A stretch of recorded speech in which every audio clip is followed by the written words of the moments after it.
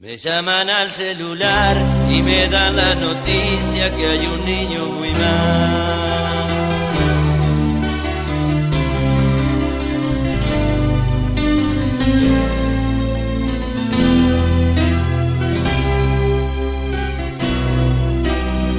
Me llaman al celular y me dan la noticia que hay un niño muy mal. Tiene apenas 15 años y se encuentra internado dentro de un hospital. Y lo hallaron drogado, me comenta un amigo, y que estaba tirado a orilla de un camino, con los brazos pinchados y un facito prendido. Porque quería volar, porque quería volar. ¿Qué tiene que ver conmigo? Le pregunto a mi amigo y no puede contestar. Le anudo la garganta y en silencio se planta porque no puede hablar. Rompe llanto y llorando me dijo, loco anda porque ese niño es tu hijo.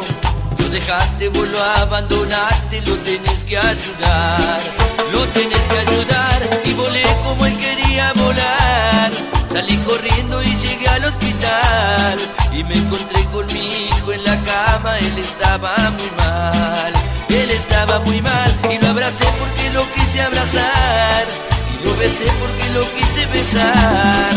Lo tomé entre mis brazos y le dije, aquí está tu papá, aquí está tu papá.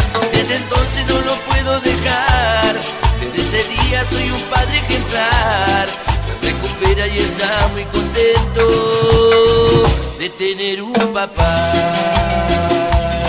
Este tema quiero dedicárselo con mucho cariño para todos esos chicos que están pidiendo una moneda en la calle y para todos esos padres que descuidan a sus chicos. Con mucho cariño, sí, de parte de Juan y su grupo Palanque.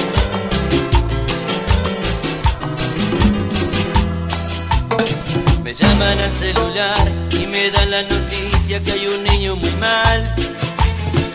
Tiene apenas 15 años y se encuentra internado dentro de un hospital que lo hallaron drogado, me comenta un amigo, y que estaba tirado a orilla de un camino, con los brazos pinchados y un facito prendido, porque quería volar, porque quería volar. ¿Qué tiene que ver conmigo? Le pregunto a mi amigo y no puede contestar.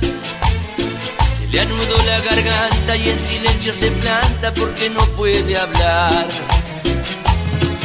rompe llanto y llorando me dijo, loco anda porque ese niño es tu hijo. Lo dejaste, vos lo abandonaste, lo tenés que ayudar, lo tenés que ayudar. Volé como él quería volar, salí corriendo y llegué al hospital. Me encontré con mi hijo en la cama, él estaba muy mal, él estaba muy mal. Lo abracé porque lo quise abrazar y lo besé porque lo quise besar. Y le dije, aquí está tu papá, aquí está tu papá. Y desde entonces no lo puedo dejar. Desde ese día soy un padre ejemplar. Se recupera y está muy contento de tener un papá. Papá, gracias por ser el mejor.